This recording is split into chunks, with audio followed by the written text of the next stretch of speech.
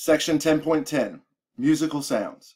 So if you speak and record the voice or record the wave pattern of your voice, it'll be extremely complex, all sorts of different peaks and valleys, spikes all over the place. It's because your voice contains a series of many overlapping waves with different types of frequencies.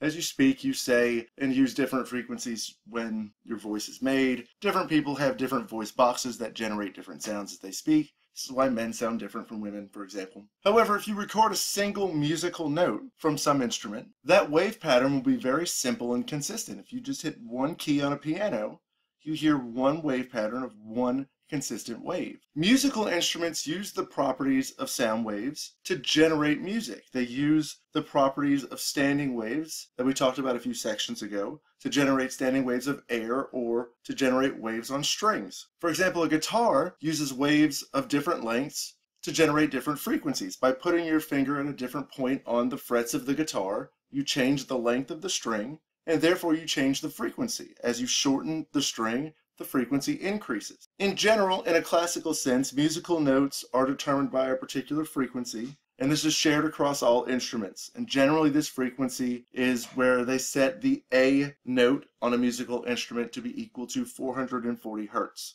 Each higher note of the same name, so each other A, is some multiple of this frequency. You do see other styles of music all over the world, but in general, musicians stick to the A being 440 hertz, and they use that to base the rest of their musical notes off of that one.